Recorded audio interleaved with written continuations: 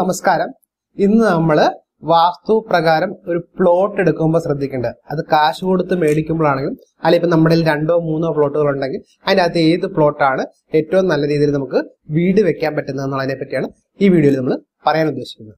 അപ്പൊ നമ്മൾ കഴിഞ്ഞ വീഡിയോയിൽ നമ്മൾ പറഞ്ഞേക്കണത് ഒരു പ്ലോട്ട് എങ്ങനെയാണ് സെലക്ട് ചെയ്യണമെന്നായിരിക്കും ആ പ്ലോട്ട് പറഞ്ഞ രീതിയിൽ നമ്മളൊരു പ്ലോട്ട് നമ്മൾ എടുത്തു വിചാരിക്കുക.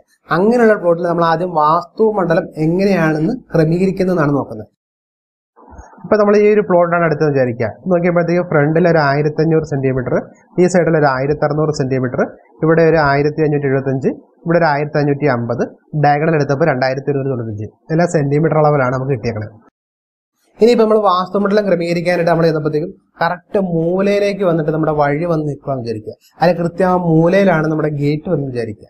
അങ്ങനെയാണെന്നുണ്ടെങ്കിൽ വേറെ നമുക്ക് അവിടെ അവിടെ ആ മൂലയിലല്ലാതെ വേറെ ഗേറ്റ് വെക്കാനോ കാര്യങ്ങളോ നമുക്ക് നിവർത്തിയില്ല അങ്ങനെ ഒരു പ്ലോട്ട് നമ്മൾ എടുത്തും പോയി. നമുക്ക് വേറെ ഒരു ഇതുമില്ല. കാരണം നമുക്ക് എടുത്തേ പറ്റത്തുള്ളൂ എന്നുള്ളൊരു അവസ്ഥയാണ് വിചാരിച്ചത്. അങ്ങനെയാണെന്നുണ്ടെങ്കിൽ നമുക്ക് കുറച്ച് സ്ഥലം നഷ്ടമാവും. അങ്ങനെയുള്ളൊരു വീട്ടിൽ എങ്ങനെയാണ് വാസ്തുമണ്ഡലം ക്രമീകരിക്കുന്നത് എന്നുള്ളതാണ് ഇന്ന് പറയാൻ പോകുന്നത്.